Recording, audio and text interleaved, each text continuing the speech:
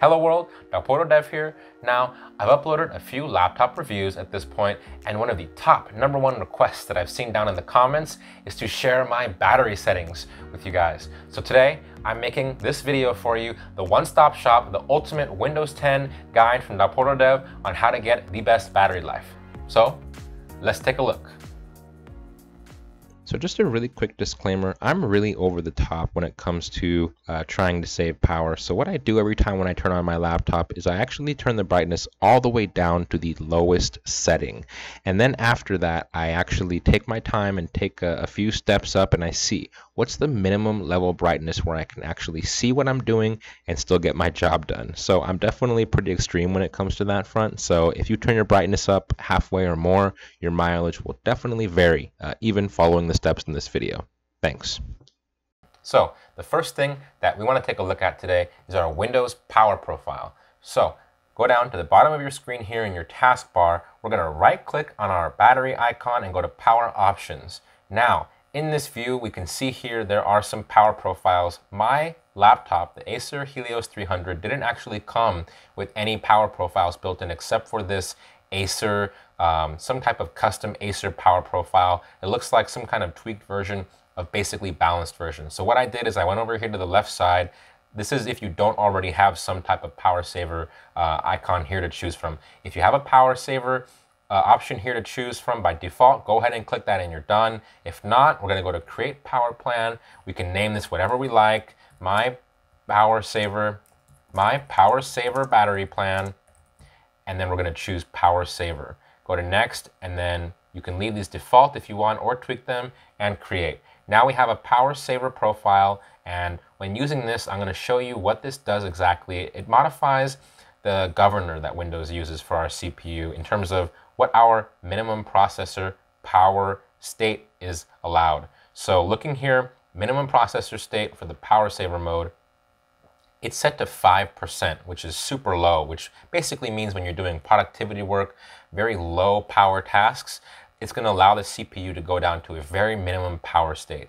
And to contrast this, to give you guys a little bit of a performance, uh, and to contrast this, to give you a little bit of a performance uh, tweak you can make as well for gaming to possibly get higher frame rates, you're definitely not going to want to be gaming on this power saver profile. So I have one here, but I'm going to show you as well. You can go to create power plan and then just choose high performance, and then you can create your own high, you, you, and then you can create your own high performance battery plan.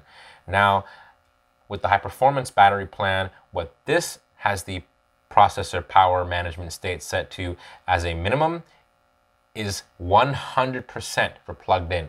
So basically, if we're using a performance, a high performance power profile here in Windows and we're plugged in, it's going to keep the processor at a full 100% power state the entire time, which in my opinion, it's the, it's the only way that I use my laptop for gaming. So now that we have our custom power saver battery plan selected here, we can close this. There's one more step we can take this. Windows 10 kind of adds this extra battery saver option even on top of this, which I guess is a little bit more suited towards tablets, but it works on desktop as well. So I'm gonna show you, we can turn it on for your Windows laptop and it's gonna give us better battery life. So we're gonna navigate down here to the bottom of the taskbar and open our notification tray on Windows 10. I pretty much never use any content here, but it gives us access to another powerful battery saving setting that Windows 10 has for us to use. So we're going to expand our tiles here, and these are very much geared towards tablets, but we can use them on Windows 10, and we can just turn this setting on here. This is Microsoft's Windows 10 Enhanced Battery Saver Mode. So just to show you exactly what it does, we can right click on it and go to Settings, and what this mode does is, for one thing, it's going to be lowering our brightness automatically uh, to a set value here. And then it also has other things it does which limits background activity of apps as well as push notifications. So certain apps will be placed into enhanced sleep states. So this setting is going to be very powerful. I use pretty much every time I'm using my laptop. In class or at work without a charger, I do, I do both of these things. I enable our power saver profile here, and then I go in and I enable battery saver in Windows 10. I'm definitely taking it next level here, but I'm reading about this setting and it's definitely gonna help us out. So we can enable this, and this is gonna give us increased battery life on Windows 10. So I'm going to show you a few more things you can do in Windows 10 that can lower the background tasks that Windows 10 will be doing in the background automatically. Okay, so we're going to open our Start menu, navigate to Settings, and then we're going to head into our privacy settings here. And then there's a setting deep down below here, kind of nestled away, in my opinion, background apps. So these are all the built-in Windows 10 apps which are allowed to run in the background. Now again, if you have Windows 10 battery saver mode on that we just talked about here in the last segment of the clip, then it's going to put most of these to sleep. However, I just like to go through here and disable the ones that I'm not really going to be having to rely on in terms of having them perform background tasks for me, just to be on the safe side. So 3D viewer, I don't need that. Uh, Acer product registration, definitely not. Alarms and clock, I would probably just leave on because Basically, it's just a clock service. I don't expect this to have much effect on battery life. In terms of Connect, I'm going to disable that. Feedback Hub, absolutely. Get Help. Groove Music, I never use it. I'm not going to touch the Intel graphics panel or my network control center. LinkedIn, get rid of that. Basically, you can go through here any apps which aren't referring to things like system services or drivers you can leave enabled. So things like this, these are extra features, but you're not going to want to be touching NVIDIA. Notification manager for Adobe. I mean, these types of things, just anything you're not going to be really relying on. Just be careful. You're not going to want to be disabling anything here like for example, if you have system apps, this app I know here controls things like fans, other things like that. So I'm not going to touch that. You got to really just be making sure here that what you're putting to sleep is just like simple user apps. So those are the things that I always I always go through here and I disable everything that I don't need in this list. And those are things that will really help us out.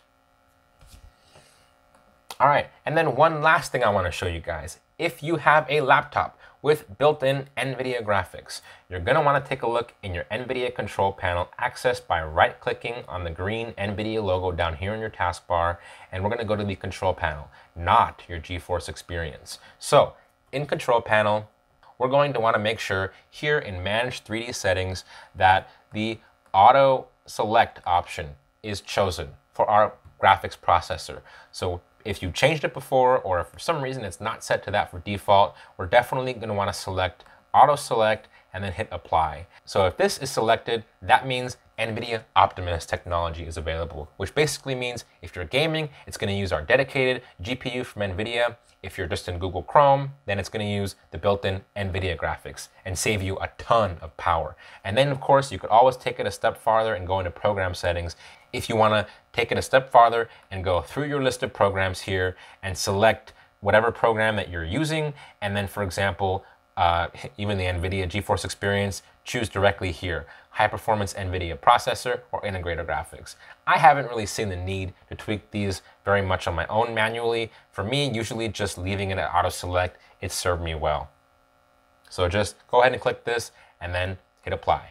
And one last thing I want to show you to disable is startup items. So every time Windows 10 starts, it's not just loading the operating system, it's actually loading a list of different apps that you've installed and caching them on startup. So it's hard to say if this setting is actually going to help you save battery, but one thing I do know, it just lessens the load, in my opinion, of RAM and system resources taken. So we're going to take a look at this. It's just something, it's just something that I recommend doing. So we're going to right click on our taskbar down below, open up the Windows Task Manager. And if it's your first time launching it, you might just see this first little small shrinked box here with, with basically nothing facing to the user. Just go ahead and click more details, and then we're gonna go to the startup tab. This will show us a list of everything which is enabled. This is what Windows is loading at startup. It actually times here as well how long your Windows is taking, how long your system is taking to boot up. But over here, we're actually seeing which ones are enabled or disabled. So for example, in my case, I disabled Adobe Creative Apps. I don't need these to start up when first I don't need these to start up automatically when using Windows. The delayed launcher, this one's by Intel. I just leave that as is. Discord, I would probably disable this just because there's a high startup impact here, but I use Discord pretty much every time I'm on the computer, so I leave this one enabled. This is something Killer Network, for example, this one is for my network, but basically you can go through here and any apps which are not part of Windows or Intel or NVIDIA or your drivers like, like Adobe apps or Microsoft Office if you see it here, or in this case, Logitech. You can see I disabled those. So these settings here, you just go to you just go and you click on one. For example, let's say I had opened this up for the first time and this was enabled. You just scroll through, you click the app that you want to disable, and just click this button down here. And then you're done. It's easy, it's done, it's done, and that app will no longer be loaded in system memory when first turning on your laptop. So that about does it in terms of user-facing, easy-to-access settings, which Microsoft has opened up to the user, built directly into Windows. These are the things that I tweak on every laptop that I use to get the most out of it in terms of battery life. But wait, there is more. Um, for you enthusiasts out there, the number one thing that I also do uh, to get the best battery life as well as performance out of a laptop is undervolting. So undervolting is actually a pretty simple thing to achieve on your laptop, just lowering the voltage that our CPU is drawing. It's accomplished using an official app from Intel, downloadable from their website, and I actually made a video on it already. So if you're interested in taking this even farther, not only in terms of battery life, but performance, I encourage you take a look in the link down below in the video description I'm going to be linking to my other video on undervolting. Undervolting is just a slightly larger topic and it's not built into Windows. So the reason why I didn't include how to undervolt in this video is because I was just focusing on which settings we could tweak directly in Windows. So if you're interested in getting even more battery life out of your laptop, please take a look in the video description down below for how to undervolt. So thanks for watching. Please like this video if it helped you out. Subscribe to my channel if you'd like to see more. Take a look in the video description down below for that link to my other video on how to undervolt, as well as my social media handles and my Discord server. I'm online every day to help you out and answer some of your questions, and there's many other helpful people on there every day as well. So thanks again for watching. Dev out.